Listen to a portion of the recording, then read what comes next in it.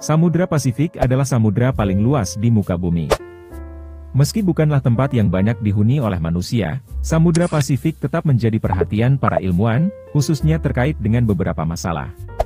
Seperti perubahan iklim, polusi plastik yang tak terkendali, hingga penangkapan ikan yang berlebihan. Samudra Pasifik memiliki luas lebih dari 160 juta kilometer persegi, yang membentang dari California hingga negara Cina. Dengan begitu, Samudra Pasifik mencakup sepertiga dari seluruh luas permukaan bumi, bahkan jika kita menyatukan seluruh daratan di muka bumi, itu masih kalah dengan luas Samudra Pasifik. Samudra Pasifik memiliki lebar 19.000 km, sedangkan lebar bulan hanya senilai 3.400 km, maka lebar Samudra Pasifik bisa memuat hampir 6 buah bulan. Nama Samudra Pasifik memiliki arti kedamaian atau ketenangan. Ferdinand Magellan, seorang penjelajah kelahiran Portugis yang berlayar mengarungi Samudra Pasifik hingga Filipina, adalah orang pertama yang menamai samudra ini dengan nama Pasifik, atau dalam bahasa latinnya Mar Pacificum. Ia memberi nama seperti itu karena merasa perairan samudra itu relatif lebih tenang. Meskipun merupakan perairan yang sangat luas, Samudra Pasifik memiliki sekitar 25.000 kepulauan, yang kebanyakannya terletak di sebelah selatan Katulistiwa. Banyak di antaranya merupakan pulau yang dihuni oleh manusia.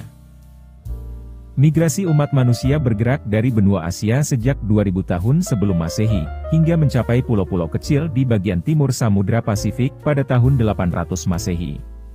Pulau-pulau sebelah timur Papua Nugini dan benua Australia merupakan wilayah pertama yang dicapai umat manusia. Wilayah ini diberi nama Melanesia, karena kebanyakan dihuni oleh orang-orang berkulit gelap. Lalu pada 1300 tahun sebelum masehi, umat manusia terus menyebar ke arah timur, ke pulau-pulau di wilayah Polinesia. Pulau Tonga diperkirakan mulai dihuni pada 400 tahun sebelum masehi, lalu Pulau Samoa pada 200 tahun sebelum masehi. Manusia bahkan terus menyebar ke daratan-daratan yang lebih terpencil seperti Hawaii, Pulau Paskah, dan Selandia Baru. Sepanjang abad-abad penjelajahan samudra, Perairan Pasifik juga dilayari oleh kapal-kapal Eropa, mulai dari kapal Spanyol, Portugis, Belanda, Inggris, dan Perancis. Pelayaran Samudra Pasifik adalah sesuatu yang sangat nekat. Bayangkan saja betapa bahayanya mengarungi samudra selebar 19.000 km, hanya dengan kapal-kapal kayu yang digerakkan oleh angin dan layar. Tujuan awal perjalanan ini adalah menemukan rute tercepat untuk mencapai Maluku atau Kepulauan Rempah. Selain itu, ada mitos yang menyebar di kalangan orang Eropa, kalau masih ada benua lain yang terletak di antara benua Amerika dan Asia. Pada akhir abad 16, kapal-kapal galiung Spanyol secara rutin melintasi Samudra Pasifik, dari benua Amerika menuju Filipina. Dari arah yang berlawanan, bangsa Portugis yang berlayar dari ujung benua Afrika dan berhasil mencapai Maluku, juga pernah berlayar hingga sebelah timur Papua Nugini. Pada abad 16, Spanyol dan Portugis merupakan dua kekuatan Eropa yang mengarungi Pasifik, namun hingga saat itu, sebagian besar pulau-pulau di Pasifik masih belum dieksplorasi. Pada abad 17, Belanda, Prancis, dan Inggris mulai mengambil alih dominasi pelayaran samudra. Termasuk mengeksplorasi bagian-bagian yang belum ditemukan di Samudra Pasifik. Pada pertengahan abad 17, penjelajah Belanda Abel Tasman, berhasil mencapai Pulau Tasmania dan Selandia Baru. Lalu pada abad 18, Prancis dan Inggris menjadi negara Eropa yang paling dominan melayari dan menanamkan pengaruh di perairan Pasifik.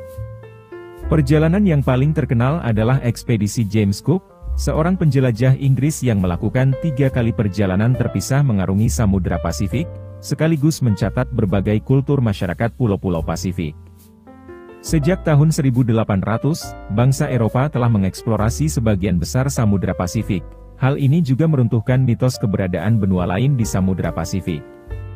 Tempat menarik lainnya yang ada di Samudra Pasifik adalah Palung Mariana, titik paling dalam yang ada di muka bumi. Bahkan kedalamannya di bawah permukaan laut mengalahkan tinggi Gunung Everest.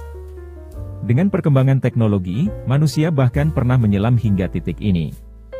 Sutradara dan penjelajah terkenal yaitu James Cameron, pernah melakukan penyelaman ke Palung Mariana pada tahun 2012. Selamat datang di channel Animasi Sejarah Dunia, kami telah membuat lebih dari 100 video tentang sejarah Indonesia dan dunia. Pastikan sudah melakukan subscribe dan menonton video-video kami yang lain.